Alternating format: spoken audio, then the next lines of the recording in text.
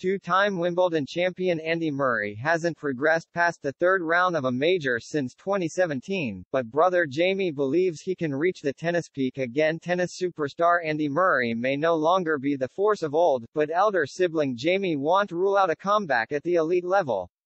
The two-time Wimbledon winner has struggled to contest major tournaments in recent years but enjoyed some positive results in 2022 after being plagued by injuries.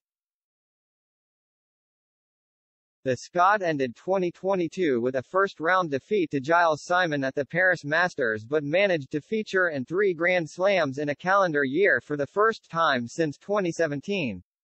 While there may not be an overwhelming sense more major titles await the 35-year-old, his older brother is backing the former world number one for a resurgence. I am hoping for good things for him, Jamie, who won both the Australian Open and US Open doubles titles in 2016, told BBC Sport Scotland. There are opportunities at the top of the men's game for him to get back up there.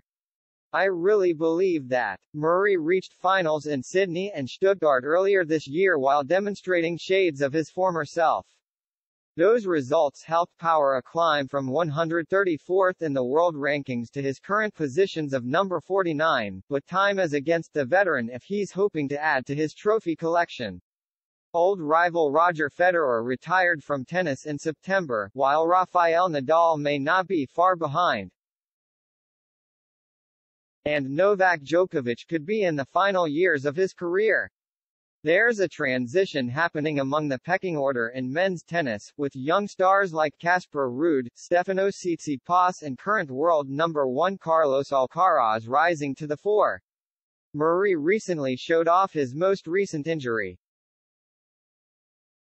Posting an image of his hand dotted with split calluses and blisters. Nonetheless, he plans to hit the ground running early in 2023 with a hopeful run at the Australian Open. I've got a pretty busy schedule planned, he told Hello magazine. I'll be kicking off the year in Australia which I always really enjoy. I'll be playing a tournament out there, and then the Australian Open.